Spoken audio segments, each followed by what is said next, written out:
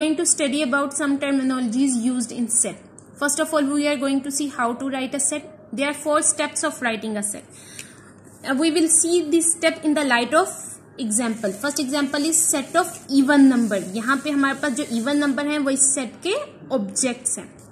The first step of writing a set is name a set आप set को name करते हो with capital letters capital letter से name करते हो यहाँ पे मैंने इसको कैपिटल बी से नेमिंग की है सेट की second step is start with curly bracket आप कर्ली ब्रैकेट से शुरू करो.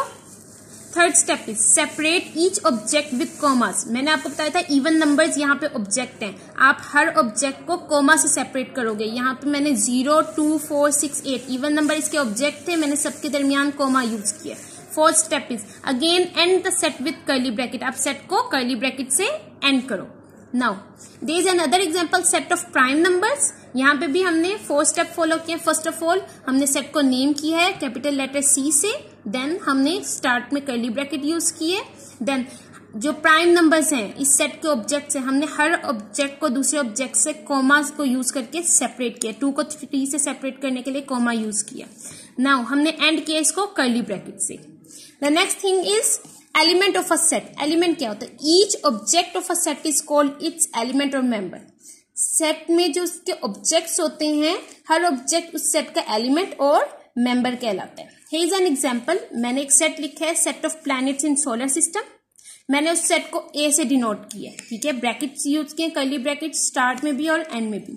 यहाँ पे, अब सोलर सिस्टम में जितने भी प्लैनेट्स आते हैं, वो सारे के सारे सोलर सिस्टम के सेट के एलिमेंट भी कहलाएँगे और उनके मेंबर भी कहलाएँगे। यहाँ पे सोलर सिस्टम का जो सेट है, वो ए से डिनोट है तो मर्करी सेट ए का एलिमेंट है, सेट ए का मेंबर है। इसी तरह इसी तरह नेपच्यून सेट ए का एलिमेंट है और सेट ए का मेंबर है। मैथ्स में हम एलिमेंट को डिनोट कैसे करते हैं?